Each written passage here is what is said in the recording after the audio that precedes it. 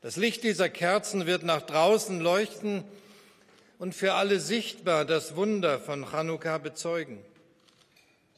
Dass wir diesen Augenblick hier und heute, dass wir ihn gemeinsam feiern können, erfüllt mich mit tiefer Dankbarkeit, auch mit Demut und vor allen Dingen mit Glück.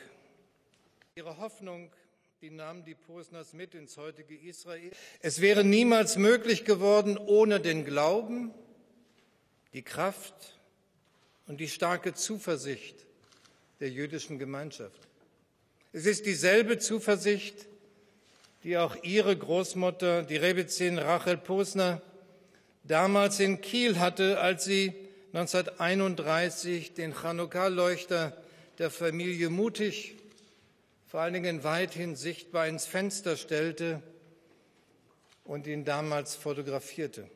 Bild in der Gedenkstätte Yad Vashem in Jerusalem ausgestellt. Und zu Beginn dieses Jahres, es ehrt unser Land, dass Sie als Nachfahren von Holocaust-Überlebenden die Mühe und, wie ich weiß, auch den Schmerz auf sich genommen haben, zum ersten Mal nach der Shoah nach Deutschland zu kommen.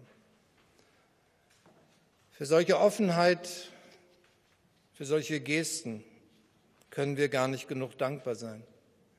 Dass Sie Ihre Chanukka hierher gebracht haben, dass Sie uns auf diese Weise einladen, gemeinsam mit Ihnen das Fest der Wunder zu feiern, erfüllt mich, meine Frau und alle hier in diesem Raum mit großer Freude. Freundeskreises Yad Vashem schon einmal nach Deutschland